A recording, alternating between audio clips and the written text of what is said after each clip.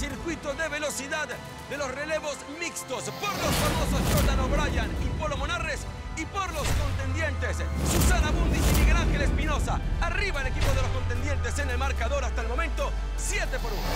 Concentradas, listas. 3, 2, 1. Velocidad de Susana Bundis. Ahora contra Jordan O'Brien. Levantan las vigas lanzan las vigas y a la alberca. Un ritmo intratable el del equipo de los contendientes el día de hoy. Recuerden, familia Exatlón, el beneficio.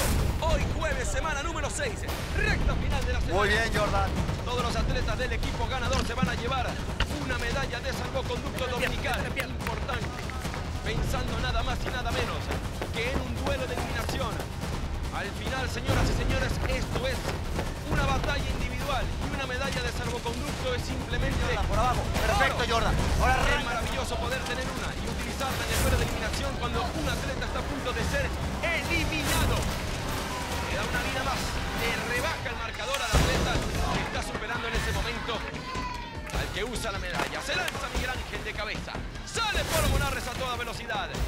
Y también entra en la alberca. Viga de equilibrio para Miguel Ángel. El balance, Polo. Estuvo espectacular en la primera ronda de emparejamientos con dos victorias. ¡Vamos! Ahora recuerden, los relevos son mixtos.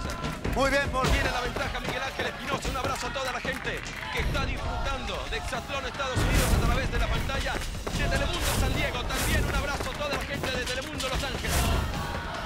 Va a comenzar a lanzar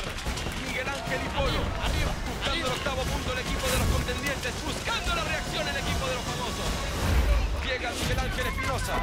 Agarra tu aire, Sus, para analizar. ¡Eso! El atleta con más victorias en toda la temporada. Ya coloca dos discos y viene Susana Bundis. Cuidado, bola. Aquí está la mexicana del Dallas. Vuelve a empujar, vuelve a empujar. Coloca uno, Polo. Lanza la mexicana de Dallas. Se queda corta.